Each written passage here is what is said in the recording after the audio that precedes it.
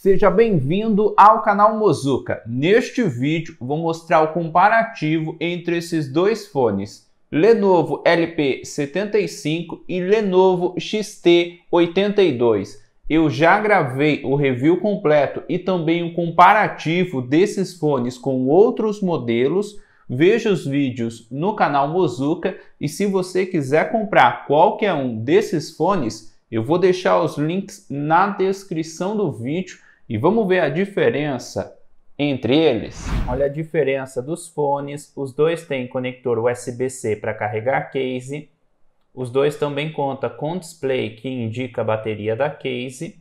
Eu achei o material da case do fone Lenovo LP75 melhor em comparação com o fone Lenovo XT82. Olha a diferença entre eles. Os dois fones contam com touch.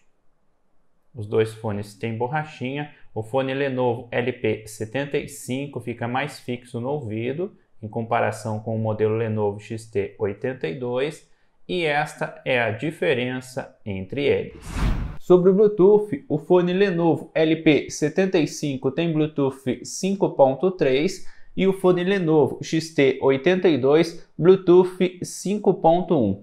Eu achei boa a qualidade do Bluetooth dos dois fones principalmente deste fone. Os dois conectaram rápido no smartphone, o som não ficou falhando, não ficou cortando, você consegue utilizar por aproximadamente 10 metros, depende bastante do ambiente, se tem bastante porta ou parede na frente. Eu achei boa a qualidade do Bluetooth dos dois fones, principalmente deste modelo. Olha a diferença dos fones, este é o fone Lenovo LP75, fone do lado direito, e este o fone Lenovo XT82, fone do lado esquerdo. Assim que eu coloquei os fones no ouvido, eu achei que este fone ficou mais fixo no ouvido em comparação com este modelo. Posso mexer que os fones não caem. Olha a diferença entre eles. Os dois fones contam com touch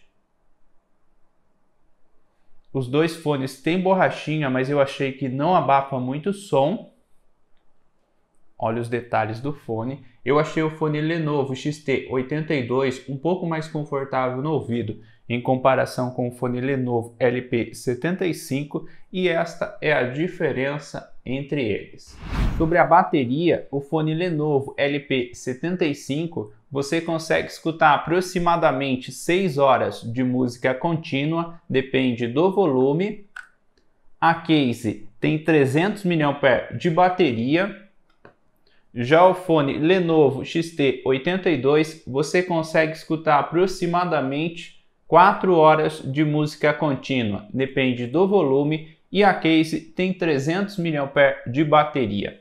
Esta é a bateria desses fones. E agora, este som que você está escutando aí são dos fones Lenovo LP75.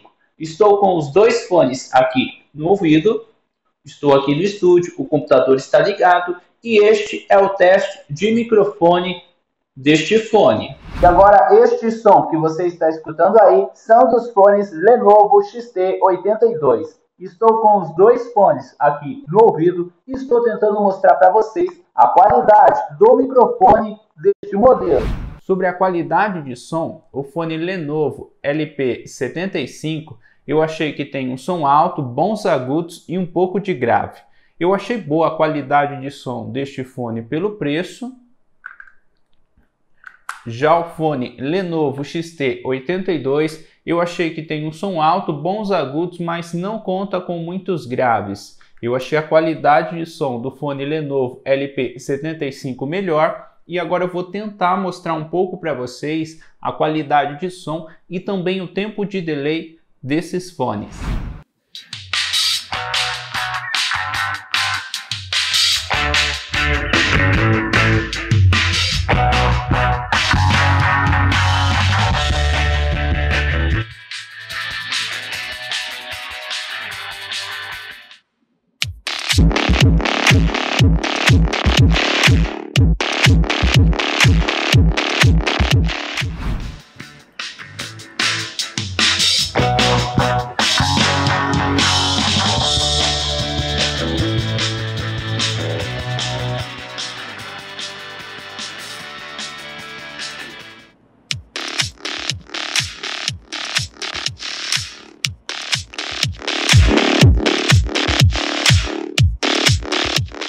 Agora o teste de delay em games. Abriu o PUBG e vamos lá.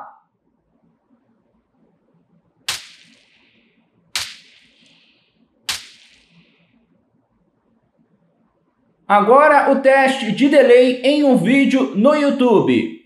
Seja bem-vindo ao canal Mozuka. Neste vídeo vou falar para vocês os melhores fones Bluetooth de qualidade, na minha opinião, que eu já testei. Abri aqui o PUBG e vamos lá fazer o teste de delay.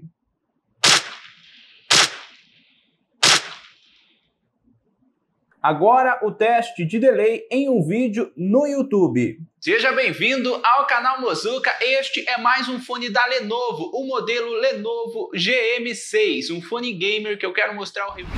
Eu achei o fone Lenovo LP75 melhor eu achei o material da case e o material dos fones deste modelo melhor e também achei a qualidade de som deste fone melhor em comparação com o fone Lenovo XT82.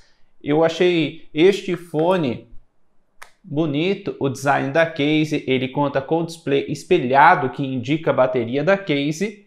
Se você quiser comprar qualquer um desses modelos, eu vou deixar os links na descrição do vídeo. Comente qual fone você achou melhor, qual você prefere e se você tem alguma dica, sugestão de vídeo, deixe nos comentários. É este o comparativo entre o fone Lenovo LP75 e o fone Lenovo XT82.